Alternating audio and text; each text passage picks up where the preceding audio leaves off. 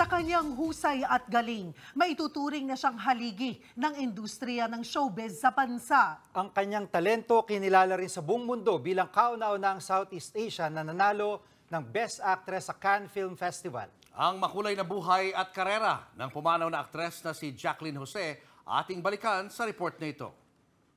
Tigilan mo ang asawa ko. Kasi hindi ka maganda. At lalong hindi maganda ugali mo. No acting, acting.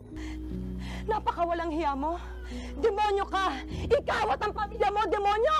Wala na kayong inisip at ginawa kung hindi ang pahirapan kami! Kaya naman bawat pelikula at seryeng kanyang ginagawa, talagang tumatatak. Hindi ako makatulog.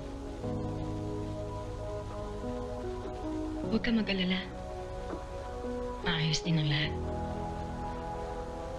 Mary Jane Guck o mas kilala bilang si Jacqueline Jose. May lahing German-American si Jacqueline na isinilang noong October 21, 1963 sa Angeles, Pampanga. Nagsimula siyang makilala sa showbiz taong 1984 sa pelikulang Chicas, kasama sina Ray PJ Abellana at Lovely Rivero. Sinundan pa yan ng iba't iba pang classic film tulad ng White Slavery at Takaw Tukso. Dito, nanalo si Jacqueline ng kauna-unahan niyang Best Actress Award sa Gawad Urian. Noong 1988, nakatambal ni Jacqueline ang aktor na si Mark Hill sa pelikulang Itanong Mo sa Buwan.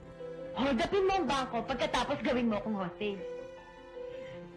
Kapag kinidnap ako, sasama ako sa'yo ng buong puso. Kasunod ng pelikulang yan, naging nobyo ni Jacqueline si Mark hanggang magbunga ang kanilang pagmamahalan. Si Andrea Nicole o mas kilala bilang si Andy. Matapos ang relasyon kay Mark, nagkaroon pa ng isang anak si Jacqueline sa gitaristang si Kenneth Ilagan. Siya si Gwen Garimond. Silang dalawa ang ilan sa maiiwang legacy ni Jacqueline matapos pumanaw ang aktres noong March 2. Sila ang naging inspirasyon ni Jacqueline para mas magpursige sa industriya. Hanggang noong 2016, nanalo si Jacqueline ng Best Actress Award sa prestiyosong film festival sa Cannes. Para naman ito sa kanyang naging pelikulang Marosa. Sa sobrang husay niya rito, naging iconic ang ilan sa kanyang mga eksena. Tulad na lang nito.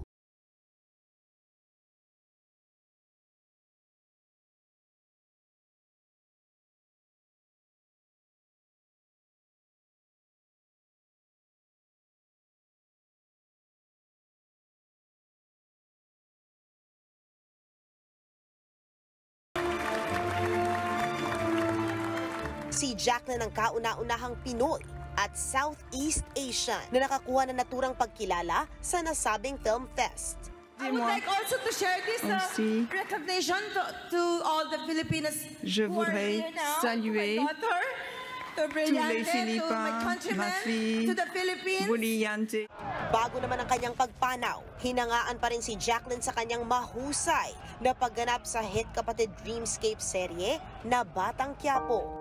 Sa pagpanaw, nagluluksa ang buong industriya ng showbiz sa bansa sa paglisa ng isa sa mga tinagurian ng halige ng industriya. Nagbabalita mula sa Frontline, MJ Marfori, News 5. Mga kapatid Cheryl Cosim po, huwag maging huli at maging una sa lahat sa balitaan. Para sa tuloy-tuloy na talakayan sa Frontline, mag-follow at mag-subscribe sa social media pages ng News 5.